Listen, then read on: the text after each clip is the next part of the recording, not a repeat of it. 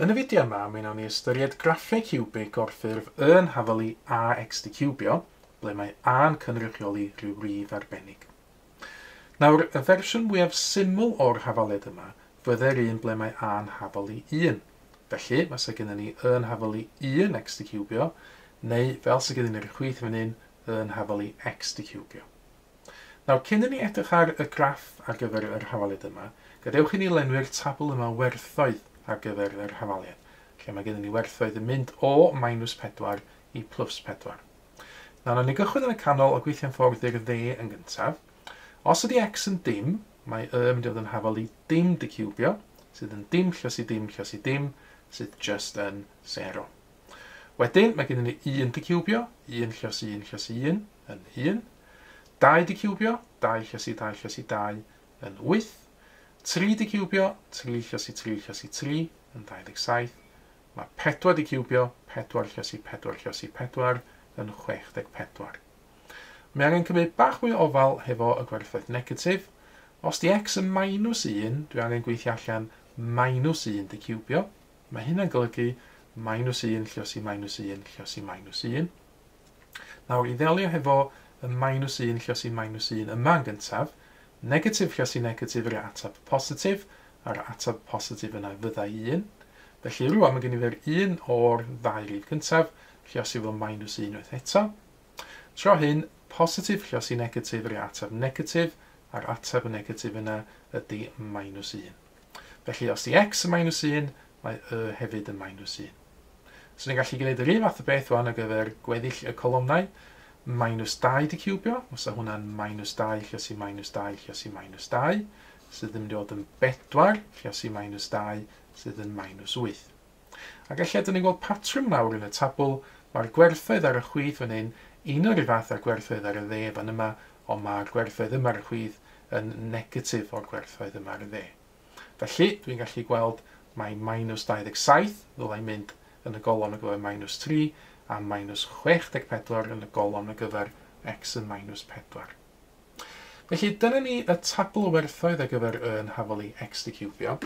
Na, gadewch i ni nawr estyn allan cyfrifiadur i ddangos y graff ar gyfer yn hafol i x di cwbio. Felly, dyna fo'r siap y graff yn hyn, a neu drio dangos y tabl o werthoedd hefyd uh, ar yr un pryd ar y sgrin ydych chi gael gweld.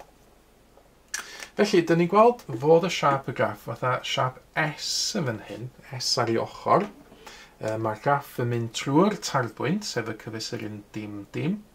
Ac yna, dyn ni'n gweld fel, o dyn ni'n gallu gweld o'r tabl, os di gwerthoedd X yn bositif, mae'r gwerthoedd Y yn bositif, ac os di'r gwerthoedd X yn negatif, mae'r gwerthoedd Y hefyd yn negatif.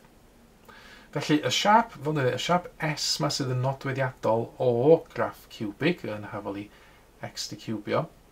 Nawr, gadewch i ni nawr ystyried beth sy'n digwydd yn fwy cyffredinol. Sylwch ar y sgrin i fan hyn, dwi wedi rhaid yn hafol i x di cwbio fewn.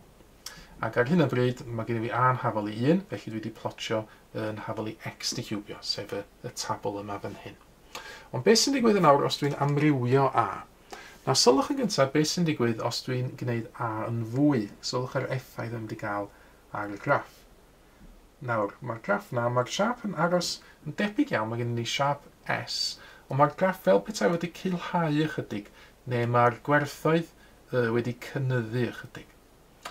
Ond wedyn, os yw'n mynd â gwerthoedd A mae fewn i'r negatif yn hyn, dydyn ni a'n yn hafol i minus 1 yn hyn, fel bod gennym ni yn hafol i minus x di cwbio.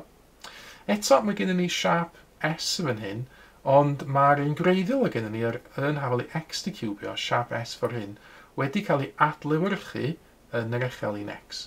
Felly yn fan hyn, a gyfer gwerthoedd x yn bositif, mae gwerthoedd y yn negatif, ac os di gwerthoedd x yn negatif, mae'r gwerthoedd y yn bositif. I orffen y fideo, mae chwarae y hwn yn fan hyn, a mae'n dangos animeiddiad bach syml ydych chi o beth sy'n digwydd wrth i a amrywio, o fod rhwng minus 5, fel mae o'r hyn y bryd, i fod yn plus 5.